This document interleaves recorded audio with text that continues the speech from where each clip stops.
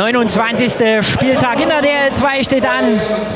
Und damit herzlich willkommen aus Dresden, aus der Energieverbund Arena. Ja, die Bräuche sind gut gefüllt noch vor Weihnachten. Wir hoffen natürlich, dass bei den beiden Mannschaften wieder alle fit sind und ein ordentliches Eishockeyspiel heute zustande kommt.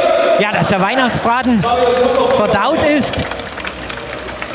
Tradition zum zweiten Weihnachtsfeiertag ist immer Eishockey. In England bei der Randsportart sagt man Boxing Day.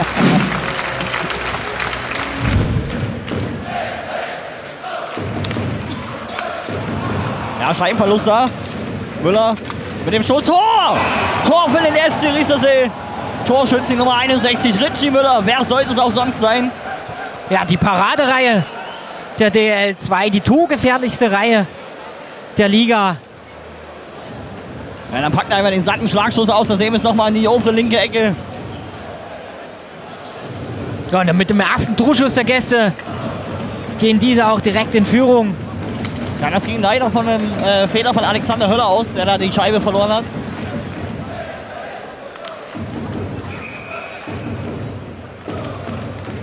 Und das ist natürlich ein Start nach Maß für Riesersee hier in die Begegnung. Sind immer aus Abwehrfehlern passiert mit Fehlpässen oder ähnliches. Und das müssen die Dresdner einfach abstellen, ganz klar.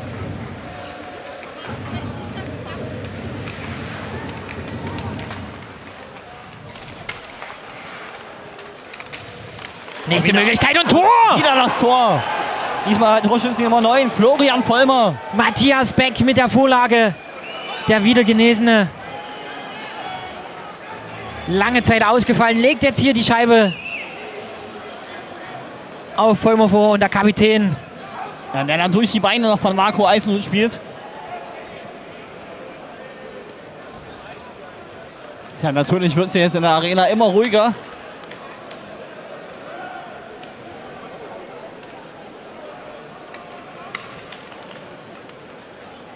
Ja, das haben sich die Eislöwen definitiv anders vorgestellt hier.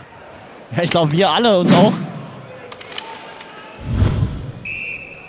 Ich habe wirklich noch keinen, oder noch ein richtiger Spielfluss ist noch nicht wirklich vorhanden. Aber der erste Riestersee macht trotzdem die Tore. Äh, die Tore. Wieder gut durchgesetzter Forstor, Rückhand. Ja, das ist das 3 zu 0 und wieder ein Tor.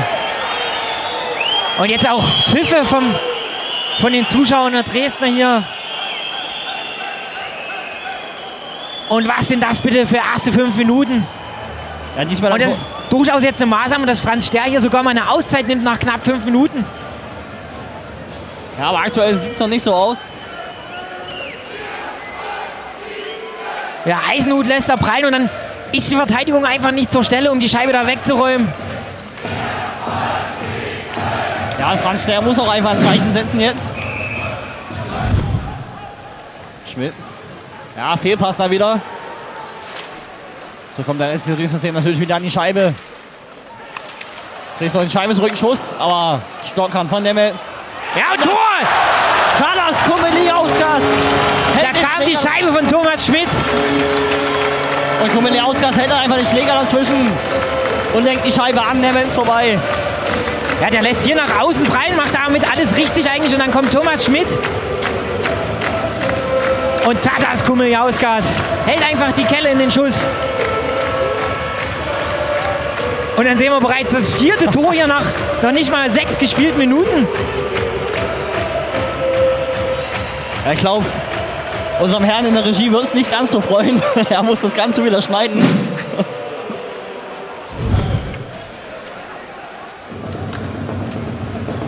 Guter Pass da jetzt.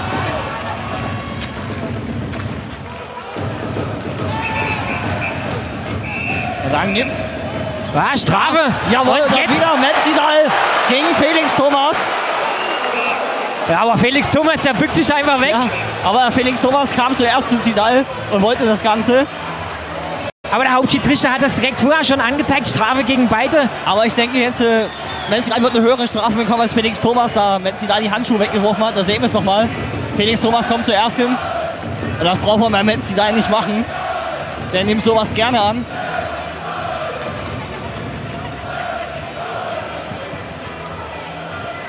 Ja, bei Metzidal vielleicht auch schon etwas Frust.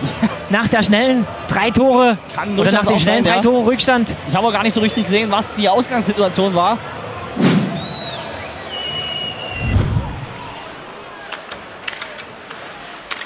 Höller. Immer noch Höller. Scheibe wieder bei den Kramer. Wieder Alex Höller. Mehmet Kumijauskas und Tor! Wieder Talas Komeli-Ausgas. In Überzahl. Die Dresdner zum 3 zu 2 und jetzt sind sie wieder drin in der Begegnung. Schau mal vor den Augen von Talas Komeli-Ausgas, der noch einen Ticken wartet. Ja, da kommen schon eigentlich Pfiffe von den Rängen. Warum wartet er so lange? Warum zieht er nicht direkt, aber dann in die kurze Ecke? Ja, und Talas Komeli-Ausgas wird immer mehr zum Glücksgriff der Dresdner Eislöwen. Man muss noch mal sagen, er hat eine komplette Saison nicht gespielt. Wobei ich dir ehrlicherweise sagen muss, er hat richtig gut angefangen hier, hat dann jetzt aber die letzten drei, vier Spiele nicht mehr so agil gewirkt wie am Anfang. Aber anscheinend hat ihn die zwei freien Tage gut getan. Jetzt der Doppelpack von Tadas Kumijauskas.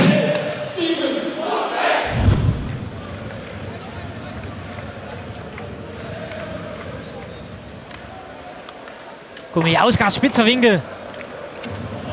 Ja, jetzt haben wir Kontermöglichkeit. Ah, und Richie Müller, der ist schnell, der Und läuft das Tor. der Dresdner Verteidigung davon und Netz zum 4 zu 2 ein. Ja, da muss man einfach sagen, da hat die Dresdner Defensive geschlafen. Wo war da der Verteidiger? Ja, war, Thomas Schmidt steht da links an der Bande und Richie Müller, den darfst du nicht so alleine stehen lassen. Richtig, und Stefanosch ist dann einfach nicht schnell genug hinterher. Und Richie Müller macht das Ding natürlich dann. Ja, diesmal hat es ein paar Sekunden länger gedauert bei ihm, knapp anderthalb Minuten.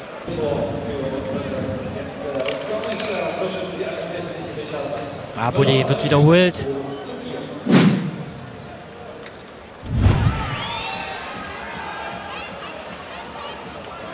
Jetzt kommen jetzt ja auch die Rufe da aus den Zuschauerrängen, dass die Zeit nicht läuft. Möglichkeit jetzt für Riesersee, Gomes und Tor! Tor für den SC Riesersee, Jared Gomes. Netz zum 5 zu 2 ein.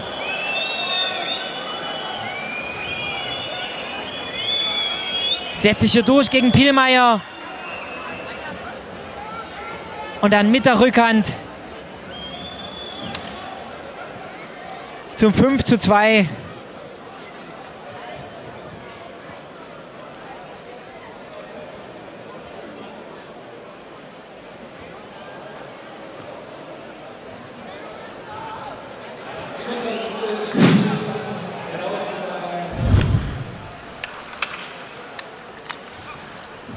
Martin Davidek.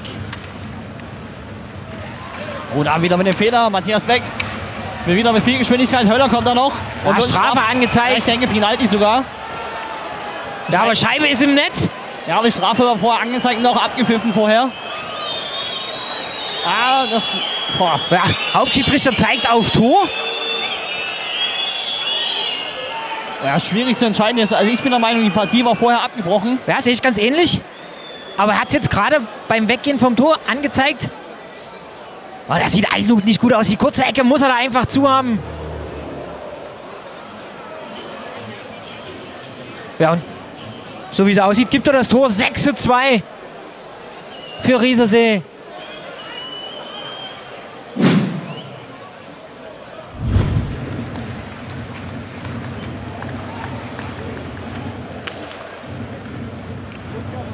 Enrico, ich bin persönlich sehr gespannt auf Henning Schroth.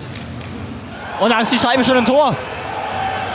Und dann macht er keine glückliche Figur. Wir kennen ihn ja eigentlich nur von anderen Vereinen aus Grimmitschau und Frankfurt. Jetzt hier nach 27 Sekunden muss er das erste Mal hinter sich greifen. Und die geht, die Scheibe geht einfach in die kurze Ecke, in die Torwart-Ecke. Ja, ein Torschütze müsste Maximilian Daubner gewesen sein. Hier aus der Jodo-Kamera nochmal besser zu sehen. Ja, beim Zurückschieben quasi in die Position lenkt er sich nicht selber rein. Unglücklicher Start für ihn. Ja, Daubner der Torschütze. Steve Rubrich. Ja, ordentliches Gewühl jetzt da. Eislöwen bleiben im Scheibenbesitz. Schmidt verlangt an der guten Seite. Dem Schuss. Tor! Tja, da hat keiner so richtig gesehen, wie die Scheibe durchging. Steve Hanusch. Da Einfach könnte noch Steve Ruprecht gewesen sein, der da abgefälscht hat. Müssen wir uns aus der Überdruckkamera noch mal ansehen. Dresden verkürzt auf 7 zu 3. Und hier sehen wir das Handgelenkschutz von Steve Hanusch. In die kurze Ecke. Ich denke, aus der Übertor werden wir es jetzt gleich besser sehen können. Da läuft Steve Ruprecht.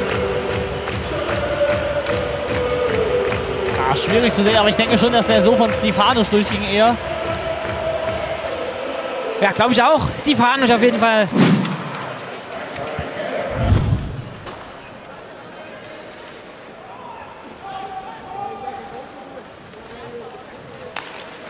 René Kramer mit viel Speed. Und Tor! Ja, warum fallen die Tore vorher Da nicht so? René Kramer mal einen satten Schlagschuss aus. Gut gesehen hier. Die Vorlage. Und René Kramer da ganz allein. Müsste Sebastian Zauner gewesen sein mit dem langen Pass. Und dann versucht es einfach mal in die lange Ecke. 4 zu 7. Der Kapitän der Dresdner verkürzt.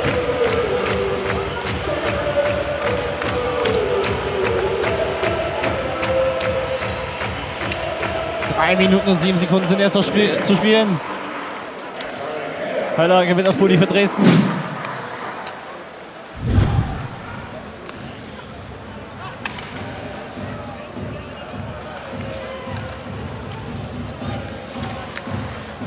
Da wäre jetzt natürlich die Möglichkeit für Franz Ster auch mal Henning Schroth da rauszunehmen. Ja, durchaus, weil zu verlieren hat er nichts mehr. Scheibe war noch frei.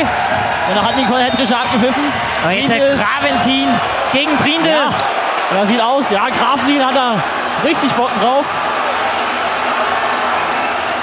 Und Grafendien gewinnt das Duell auch gegen Andreas Trindl. Ja, ich, ich denke nur an mein Trikot, Robin. Das soll doch bitte heile bleiben. Ja, Trindl wird da von Graventin zu Boden gerungen. Aber guter Einsatz da von Dominik Grafendien, muss man sagen. Ja, da schnappt sich da einfach mal den Goldhelm der Gäste. Ja, sehen wir es nochmal. Die Partie war dann schon unterbrochen. Und da hat Trindl nochmal nachgeschlagen gegen Grafendien. Dann, Ja, dann verständlich die Reaktion von Dominik dann zieht Graventin. ihm erstmal das Trikot über den Kopf. Und dann, ja, Grafendien teilt da ein paar gute Dinge aus.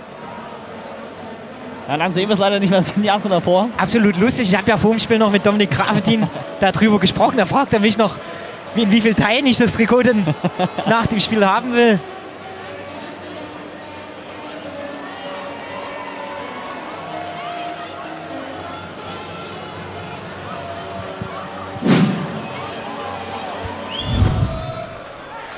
Sidal. War Möglichkeit für Dresden Unterzahl hier, Thomas Schmidt. Und jetzt im Konter nochmal Riesersee über die Belga. Und der netzt ein zum 8 zu 4. Überzahltreffer.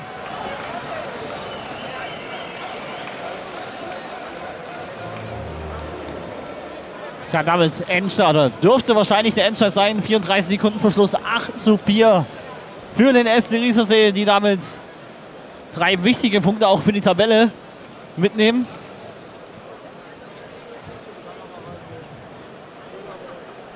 Ja, und Dresden damit auf Distanz hält. Die Eislöwen dann mit sechs Punkten Rückstand auf den SCR.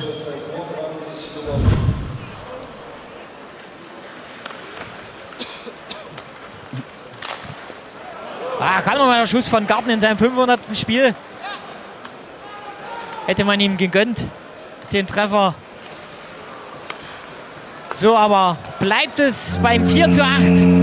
Der SC Riesersee nimmt die drei Punkte aus Dresden mit. Ja, wichtige drei Punkte, wir haben es schon gesagt.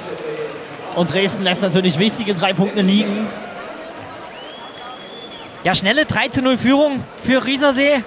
Damit war das Spiel ja eine Art Vorentscheidung schon. Dann kommt Dresden aber wieder zurück und da hat Dresden eigentlich das Momentum auf seiner Seite.